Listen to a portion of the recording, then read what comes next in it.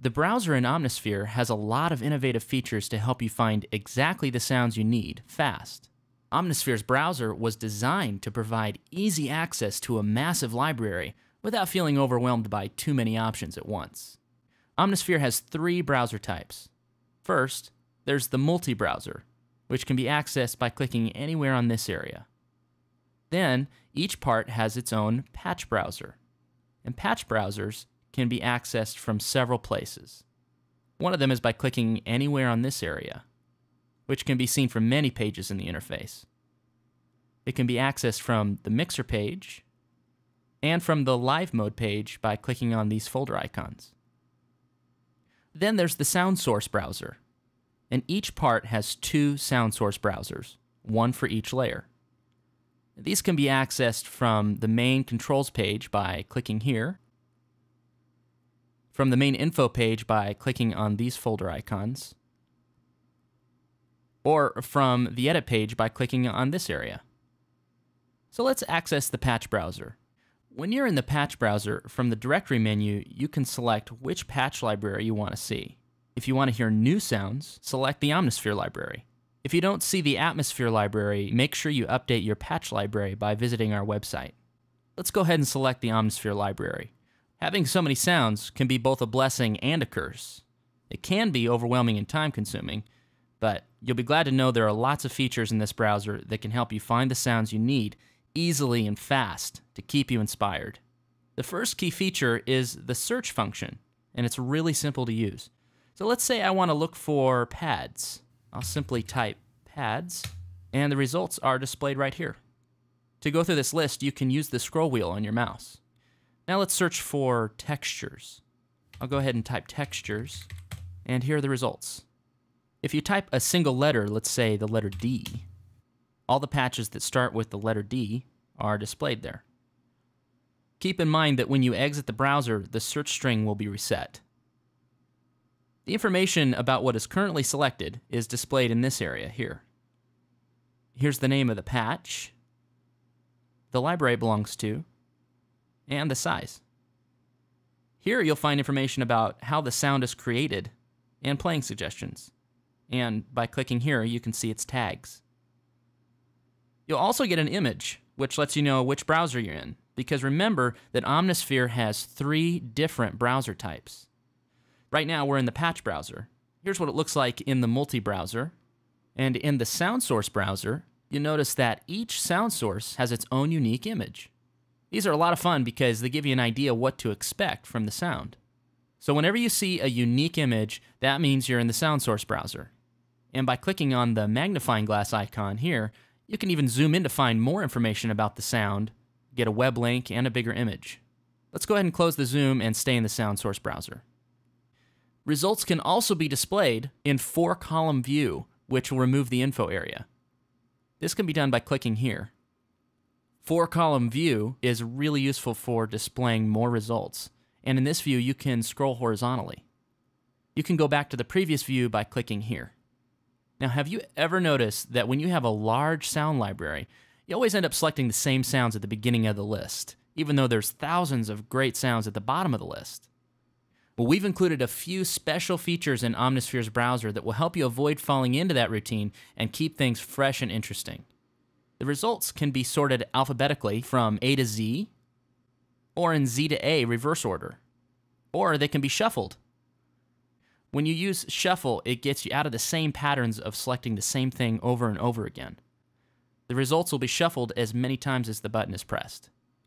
Now, there are more than 2,700 sound sources you can use, and many of them aren't used in patches, so it's really important that you take advantage of the browser features so you have access to them. The steppers allow you to go through the sounds this way, and although it's not possible to control them using commands from your computer keyboard, you can use MIDI messages. For information on the refresh button, please watch the Favorites and Projects tutorial. This is the Audition button, Clicking on it will play the currently loaded sound. This is really useful because it allows you to audition sounds when you don't have a keyboard handy. In fact, there's a great feature called Audition Autoplay, which can be accessed under Settings. When Audition Autoplay is enabled, a sound will automatically play when it's loaded. The note that's played and for how long can be set here. Let's check it out.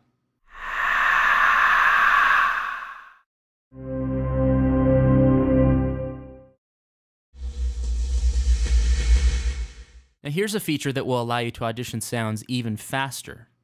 Preview load will load only a specific range of sound, which reduces the loading time. Let's try this in the composite morphing category.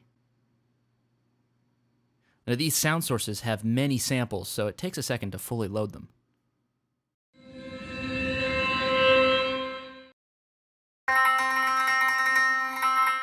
So I'm going to go ahead and set the browser to preview load, and let's see the difference.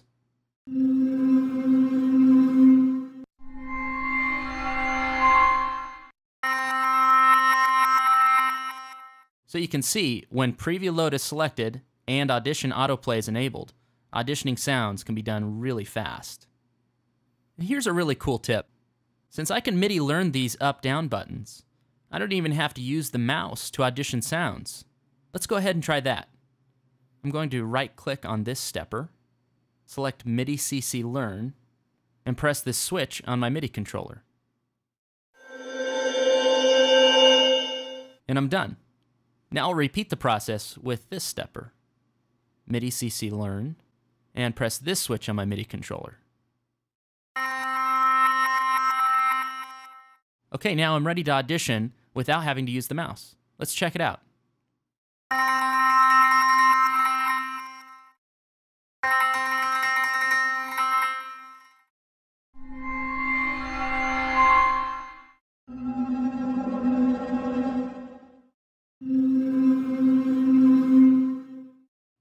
Here's another trick. If you're zoomed in, you can still step through the different sounds while looking at a bigger image, notes, and tags. Let's try it.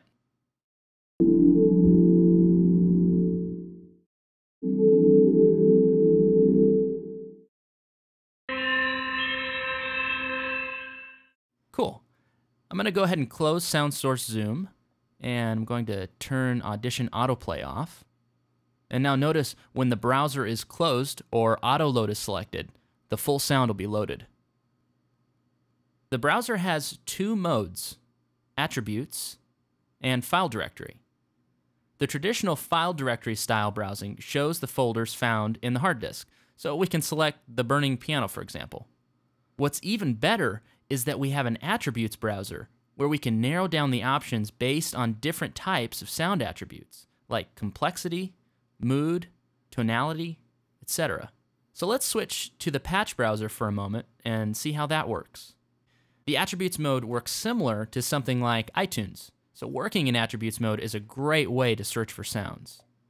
Making selections in this area allow you to narrow the focus to only the sounds you're interested in, which are then displayed here. For example, under category, I'll select ARP and rhythm. Under pattern, let's choose arpeggiated.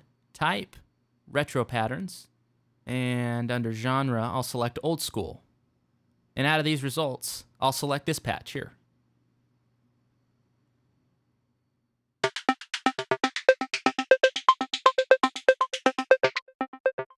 Now under type, let's go ahead and select organic patterns. And in genre, let's select experimental. And let's load this patch here. And let's go ahead and take a listen.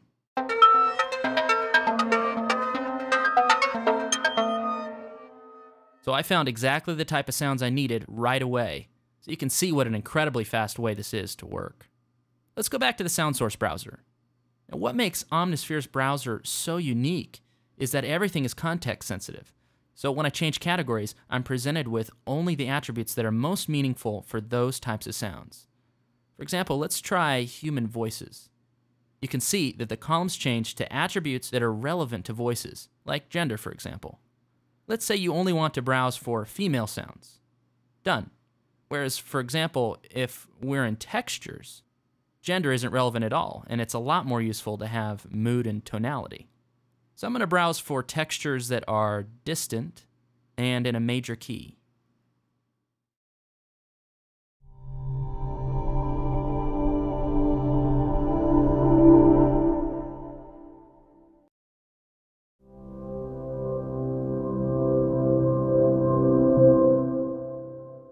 So you can see everything is always context sensitive.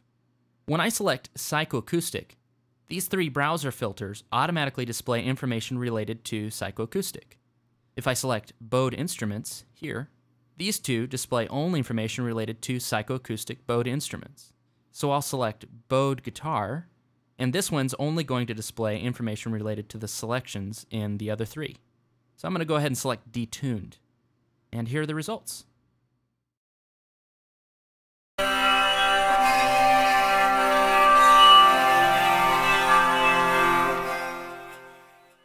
Also, the browser filters support multiple selections by command clicking on a Mac or control clicking on a PC.